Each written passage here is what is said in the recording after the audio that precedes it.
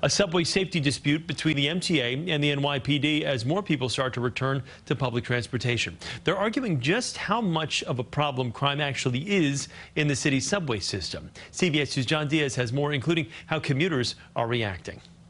It's getting really bad out there.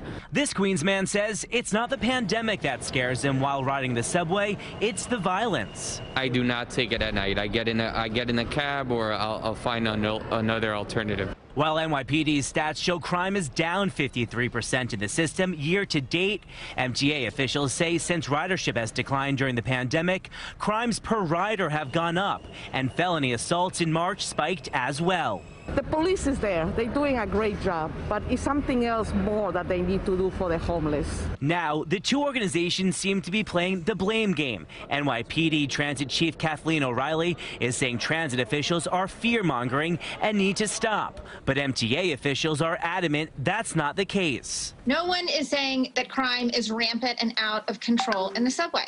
We're just trying to get it into a better place. The next three to six months are critical in terms of getting ridership back. What we're doing is we're listening to our customers. Today, MTA Chairman and CEO Patrick Foye pointing to a recent survey conducted by the Transit Authority. It showed 87% of riders are still worried. We've surveyed 33,000 of our customers, and our customers are saying they're concerned about crime and harassment. The same thing is true with respect to our employees. This comes as other areas in the city are also trying to bounce back. Business hubs, starting in Times Square, are about to see more police, since safe economic recovery is a top priority, and these areas bring a lot of dollars into the city.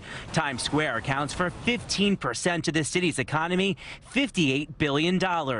New York City's not going to recover unless Midtown and Times Square recover.